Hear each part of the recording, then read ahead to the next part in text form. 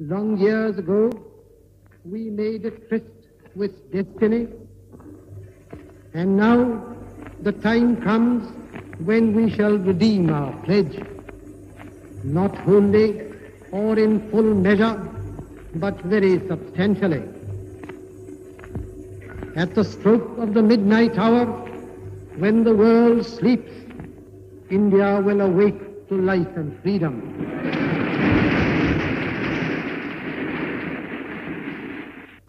A moment comes which comes but rarely in history when we step out from the old to the new, when an age ends, and when the soul of a nation, long suppressed, finds utterance.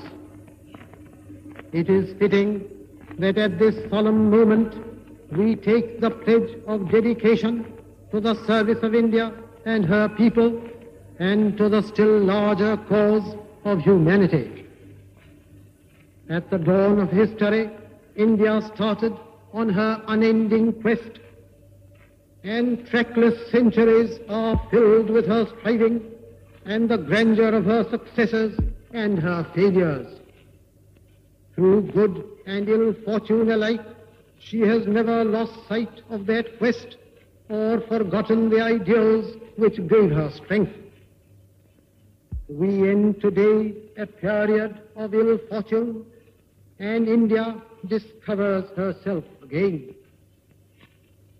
The achievement we celebrate today is but a step, an opening of opportunity to the greater triumphs and achievements that await us. Are we brave enough and wise enough to grasp this opportunity and accept the challenge of the future? Freedom and power bring responsibility. That responsibility rests upon this assembly, a sovereign body representing the sovereign people of India. Before the birth of freedom, we have endured all the pains of labor, and our hearts are heavy with the memory of this sorrow. Some of those pains continue even now. Continue even now. Nevertheless, the past is over, and it is the future that beckons to us now. That future is not one of ease or resting, but of incessant striving, so that we might fulfill the pledges we have so often taken and the one we shall take today. The service of India means the service of the millions who suffer. It means the ending of poverty and ignorance and disease and inequality of opportunity. The ambition of the greatest man of our generation has been to wipe every tear from every eye. That may be beyond us, but so long as there are tears and suffering, so long our work will not be over.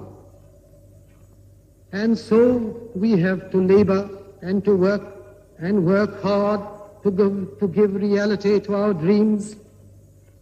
Those dreams are for India, but they are also for the world, for all the nations and peoples are too closely knit together today for any one of them to imagine that it can live apart.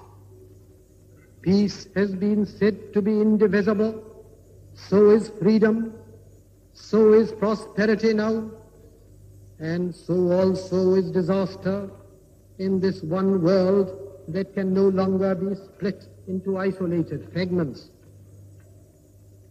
To the people of India, whose representatives we are, we make appeal to join us with faith and confidence in this great adventure. This is no time for petty and destructive criticism no time for ill will or blaming others. We have to build the noble mansion of free India where all her children may dwell.